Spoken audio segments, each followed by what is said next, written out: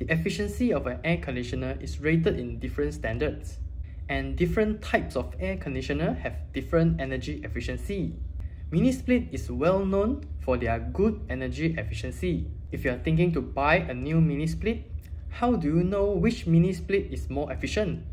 And you, welcome to Aircon Lounge. Today, we are going to talk about Mini Split efficiency.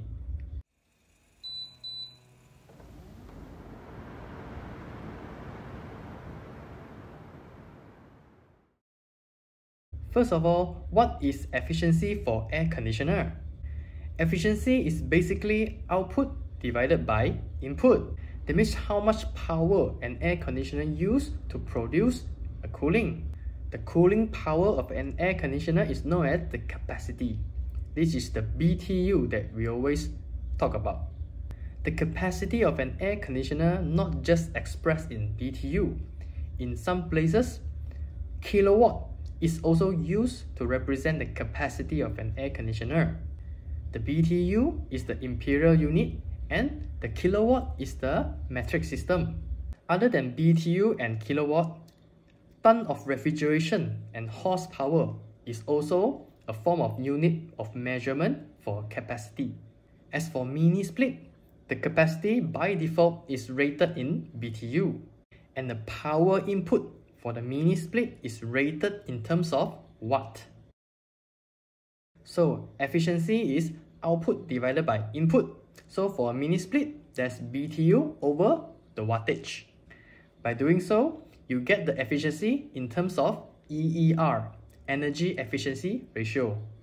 If we convert the power input from watt to kilowatt, and we use kilowatt as the cooling capacity as well, then we divide kilowatt by kilowatt, then we get the universal COP, coefficient of performance.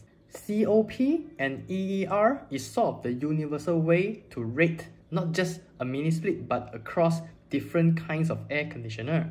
The cooling capacity and the power input of an air conditioner is rated in what we call the AHRI test condition.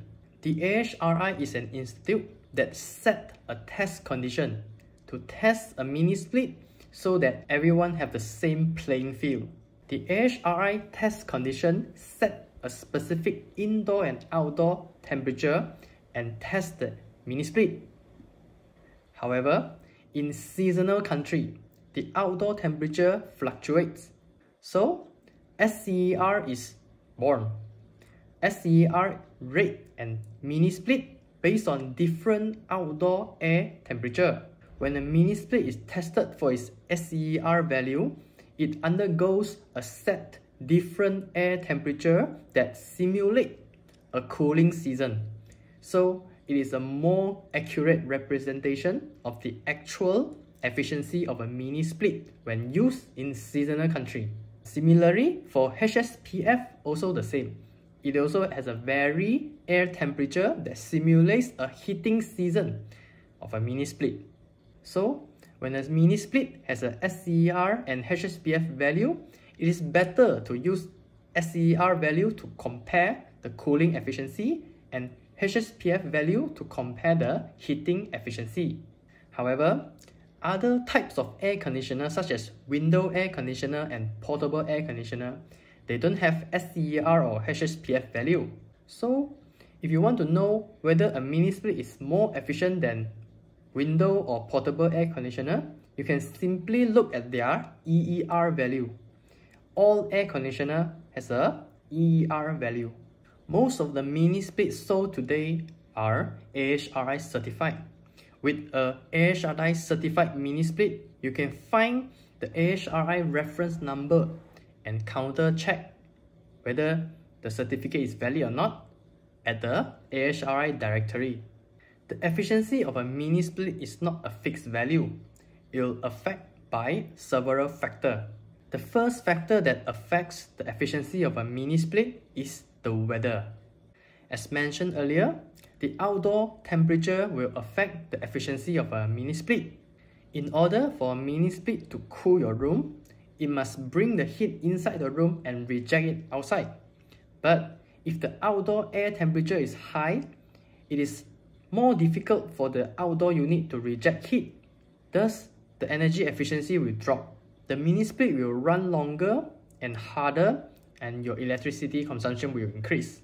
So for heating, the mini split must extract heat from outside and bring it inside. If the outdoor air temperature is too low, then that means there's not much heat the mini split can extract. Thus, the performance or the efficiency will drop.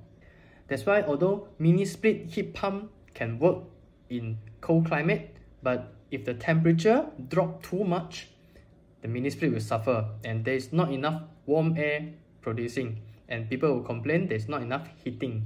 One tips here when buying a mini split for primary for heating purpose is to check the capacity not at 47 degree Fahrenheit but at 17 degree Fahrenheit. Mini split that undergo the AHRI certification is tested in three different conditions. The first one is for cooling capacity. It is tested at 95 degree Fahrenheit outdoor temperature. So there's one cooling capacity.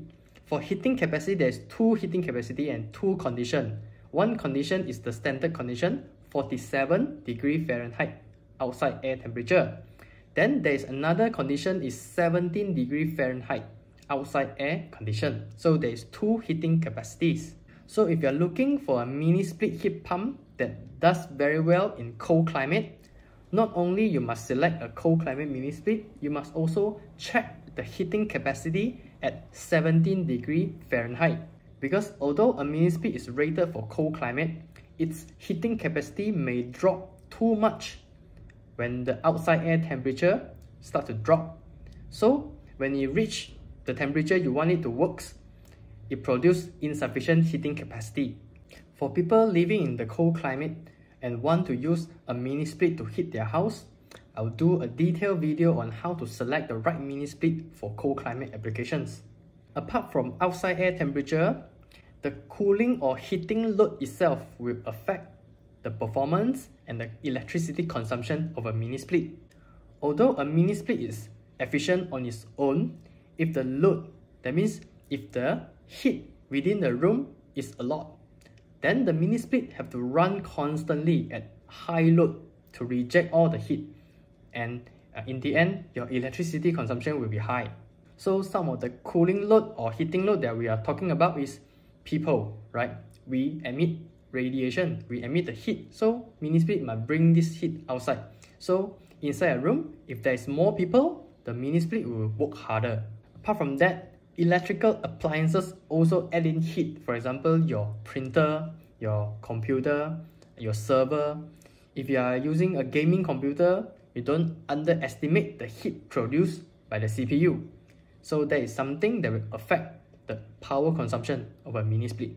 Other than that, hot air infiltration is another major way to introduce heat. That means you are not closing the door or window when you want to cool the room. Uh, there's a way to bring more load to the mini split and increase your power consumption. The other thing that will affect the power consumption of a mini split is a lack of maintenance. It means the dirty filter and dirty coil. These are the basics, right? It not just apply to a mini split, but also across uh, many other types of air conditioner.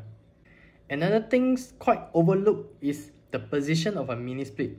For example, if you're a wall mounted unit like the one behind me, if you install it too high up the ceiling, that means too close to the ceiling, there's not enough gap for the return air, so the efficiency will drop as well.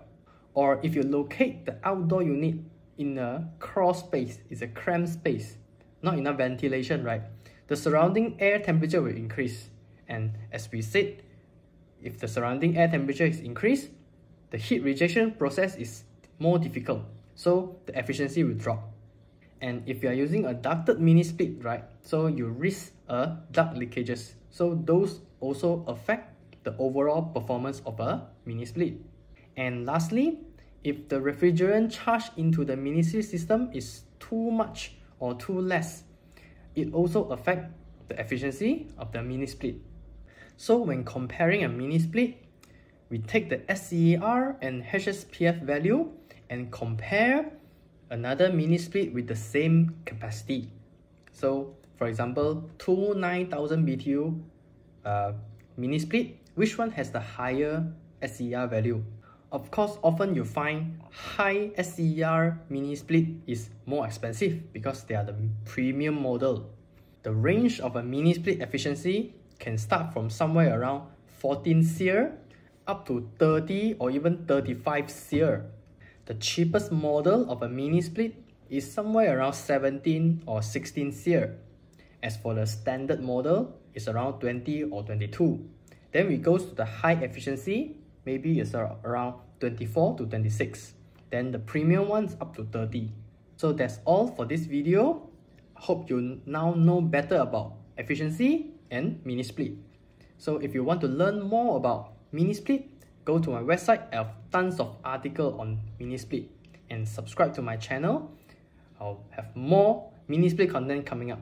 So I'll see you in the next video. Thank you.